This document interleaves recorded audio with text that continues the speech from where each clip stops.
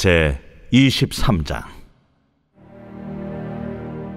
너는 거짓된 풍설을 퍼뜨리지 말며 악인과 연합하여 위증하는 증인이 되지 말며 다수를 따라 악을 행하지 말며 송사의 다수를 따라 부당한 증언을 하지 말며 가난한 자의 송사라고 해서 편벽대에 두둔하지 말지니라. 네가 만일 네 원수의 길 잃은 소나 나귀를 보거든 반드시 그 사람에게로 돌릴지며 네가 만일 너를 미워하는 자의 나귀가 짐을 싣고 엎드러짐을 보거든 그것을 버려두지 말고 그것을 도와 그 짐을 부릴지니라.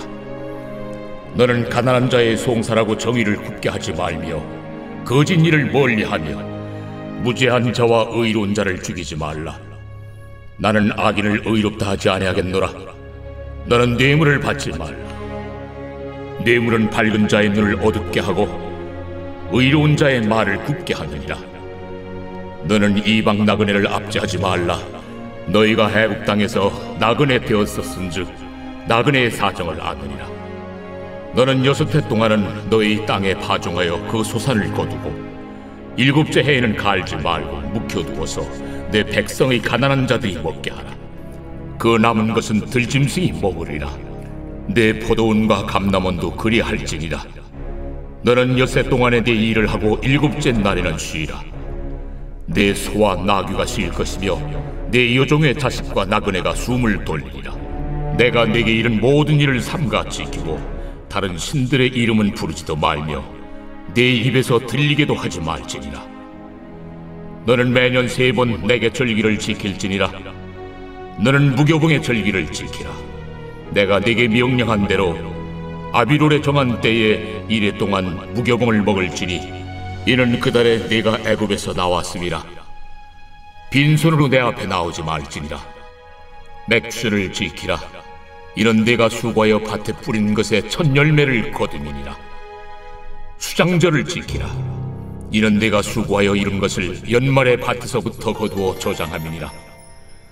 내 모든 남자는 매년 세 번씩 주 여호와께 보일지니라.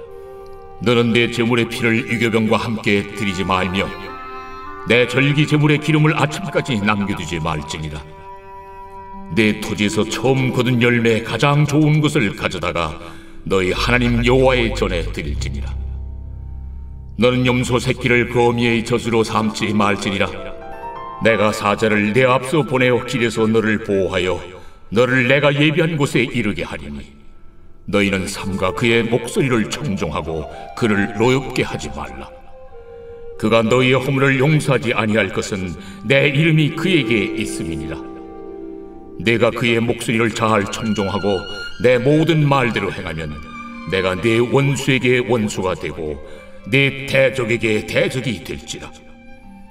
내 사자가 내 앞서 가서 너를 아모리 사람과 헷 사람과 브리스 사람과 가나안 사람과 히위 사람과 여부스 사람에게로 인도하고 나는 그들을 끊으리니 너는 그들의 신을 경배하지 말며 섬기지 말며 그들의 행위를 본받지 말고 그것들을 다 깨뜨리며 그들의 주상을 부수고 내 하나님 여호와를 섬기라. 그리하면 여호와가 너희의 양식과 물의 복을 내리고 너희 중에서 병을 제하리니 내 나라에 낙태하는 자가 없고 임신하지 못한 자가 없을 것이라. 내가 너의 날수를 채우리라.